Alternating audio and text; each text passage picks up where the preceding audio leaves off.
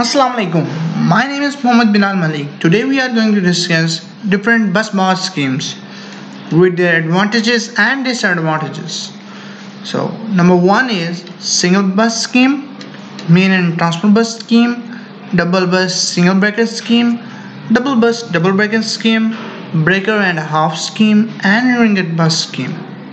So, let's start the video without wasting the time.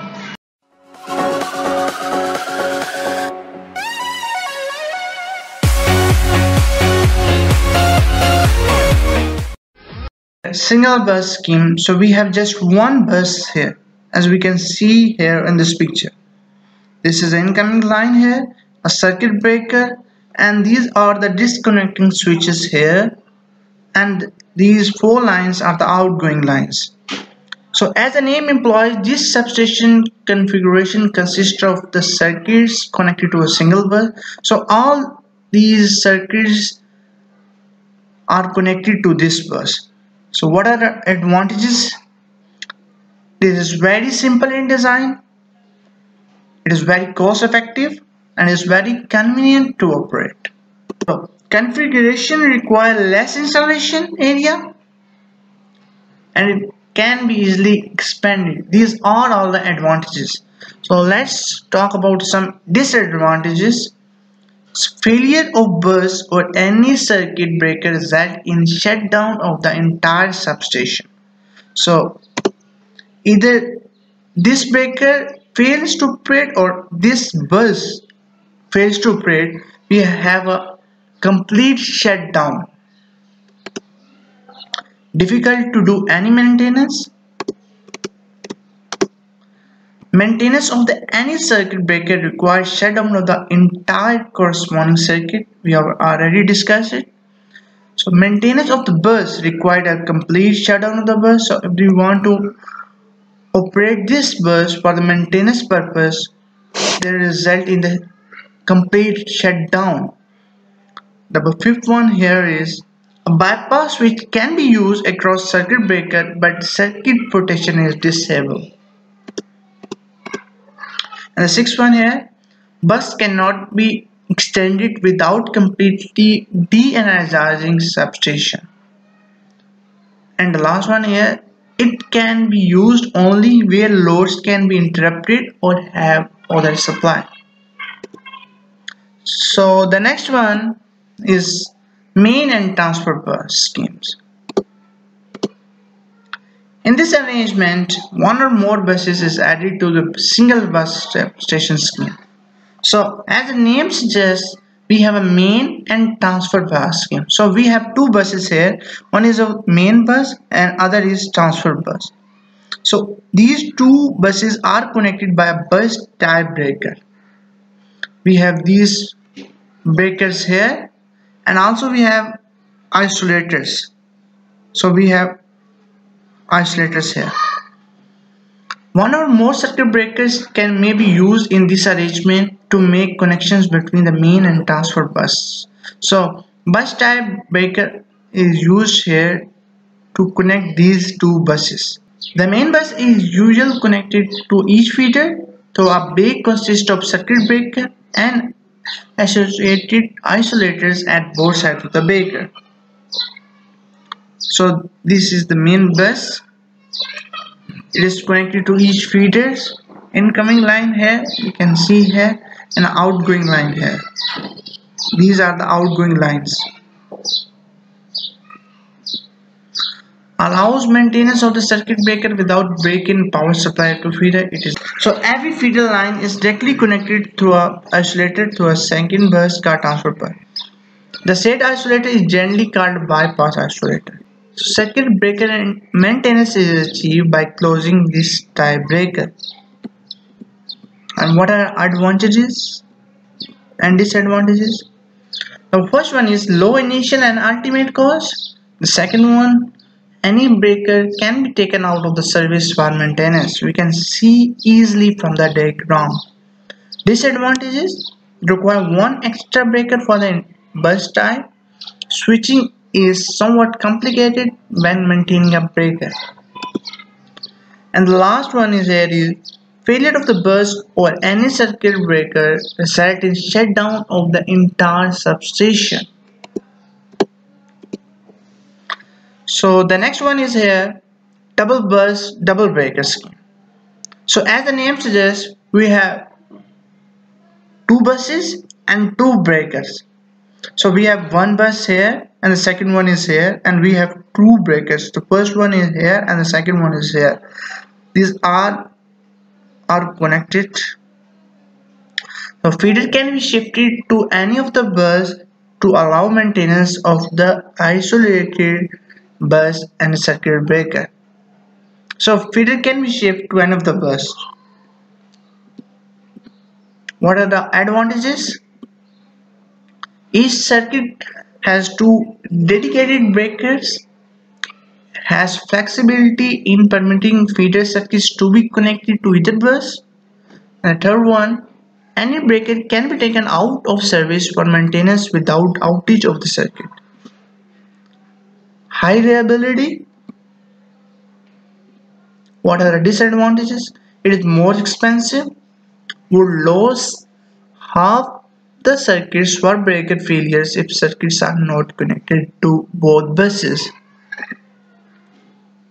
So the next one here is double bus single breaker scheme.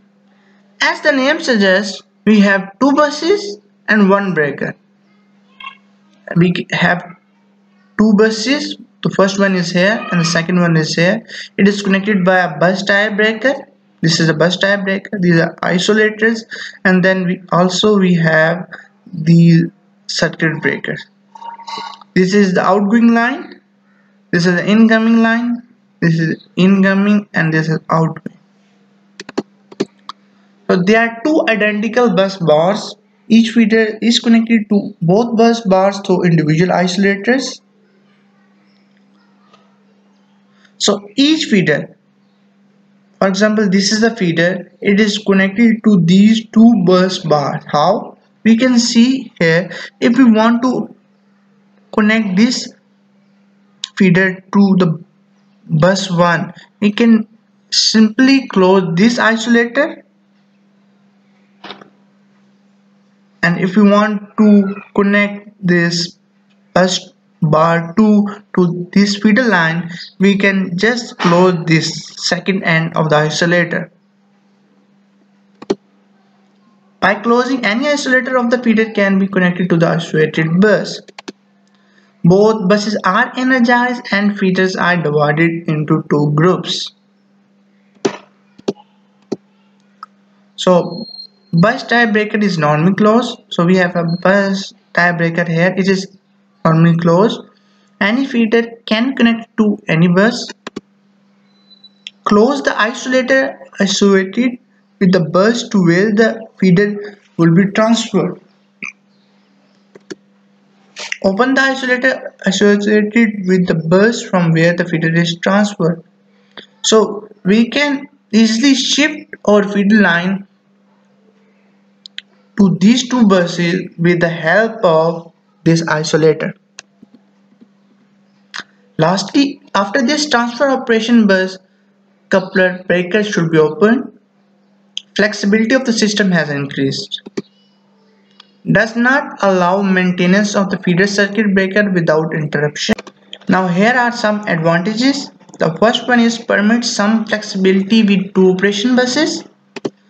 The second one is either main bus may be isolated for maintenance Circuits can be transferred readily for one bus to the other by of the bus tie breaker and bus selector disconnected switches.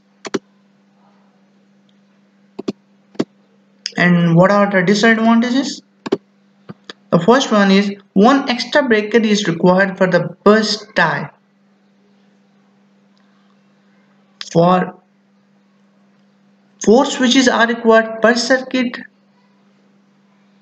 Bus protection scheme may cause loss of substations when it operates it all circuits are connected to that bus.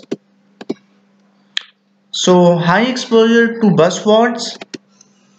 Line breaker failure takes all circuit connected to the bus out of the circuit. Bus breaker failure takes entire substation out of the circuit or service.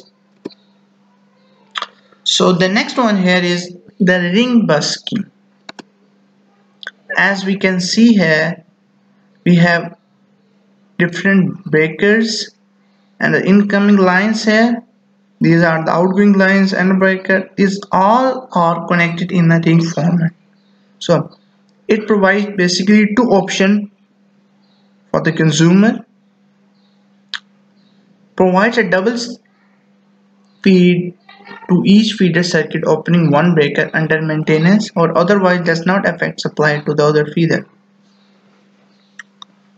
So if we want to operate this or we have to shut down this breaker the supply should reach from this breaker to this line. So it, these all are connected in the ring format.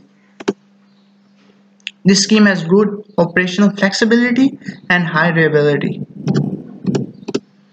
If the fault occurs in this configuration, it is isolated by tripping a breaker on both sides of the circuit.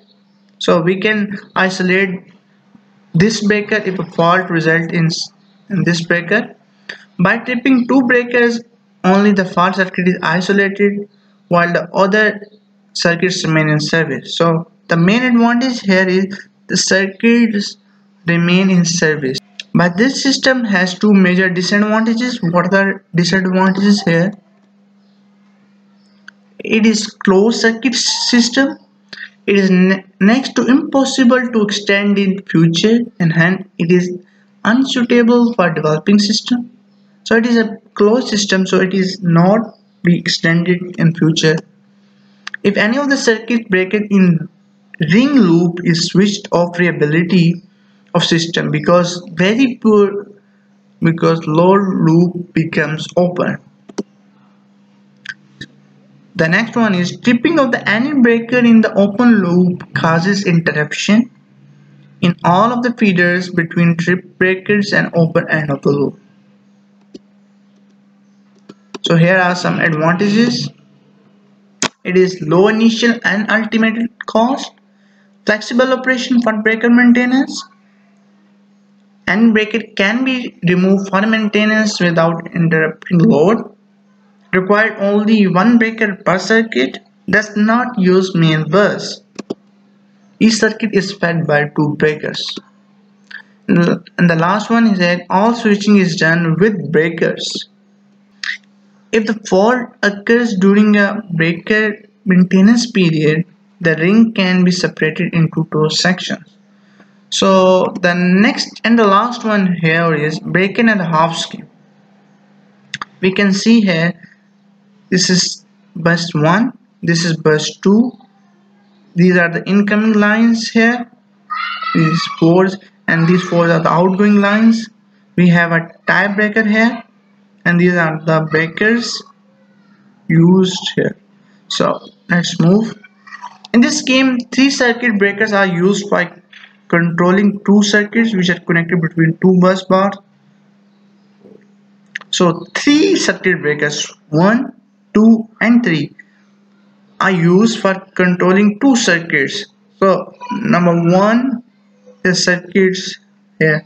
We have an incoming line here and it's connected by these two breakers and then uh, and the outgoing line uh, also here it is between these two circuit breakers normally both the bus bars are in service so a fault on any of the bus bars is cleared by opening of the associated circuit breakers without affecting continuity of supply be taken out for the maintenance without causing interruption load transfer is achieved through the breakers and therefore the operation is simple.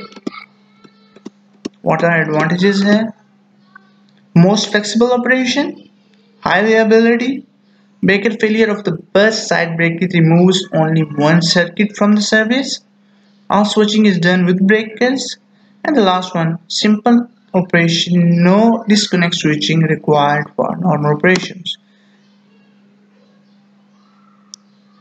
and the sixth one here is Either main bus can be used out of the service at any time for maintenance. Here, bus failure does not remove any feeder circuits from the service.